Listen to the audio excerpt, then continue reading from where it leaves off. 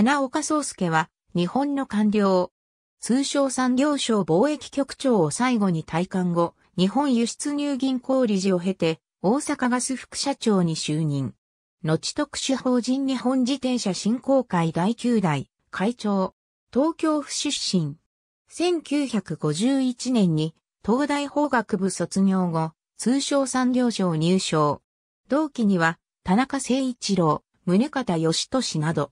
1974年大臣官房秘書課長。1976年大阪通産局長。1978年日銀政策委員を経て、1979年貿易局長。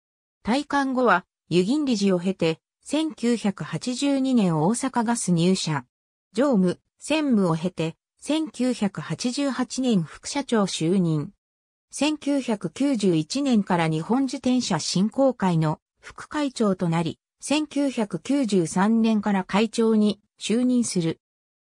1991年の副会長就任以来、競輪の五輪種目への採用に動き、その間、世界的には人気種目であり、実力的にも世界レベルに多くいながら、国内の競輪に止まっていた国内選手を世界選手権以外の大会へも海外遠征させるなどの施策を実施し、1996年12月には2000年シドニーオリンピックの自転車正式種目採用にこぎつけた。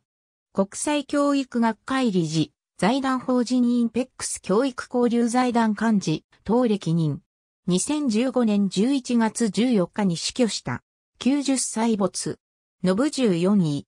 ありがとうございます。